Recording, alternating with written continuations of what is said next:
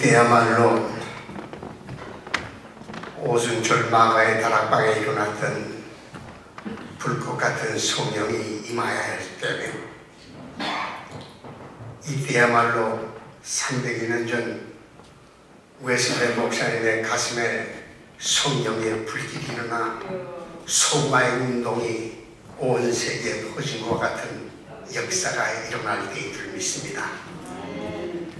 자녀들은 이혼하고 젊은이는 환상을 보고 노인들은 꿈을 꾸어야 하는 이런 때인 줄을 믿사와 오늘 주의 종을 봉해 보내주셔서 저희들을 깨우쳐 주시고 결단하게 하시고 하나님께서 들려주시는 충만한 환상을 보게 하여 주시오니 감사합니다. 이와 같이 우리를 위기 때마다 환상으로 이끌어 주시는 우리 주 예수 그리스도의 은혜와 아버지 하나님의 무한하신 사랑하심과 성령님의 감화, 감동, 교통, 역사, 뜻을 이룩하게 하시는 귀한 역사가 주의 종들과 우리 무성도들 주의 교회 위에 지금부터 영원토록 함께 해 주옵시기를 간절히 축원하옵나이다.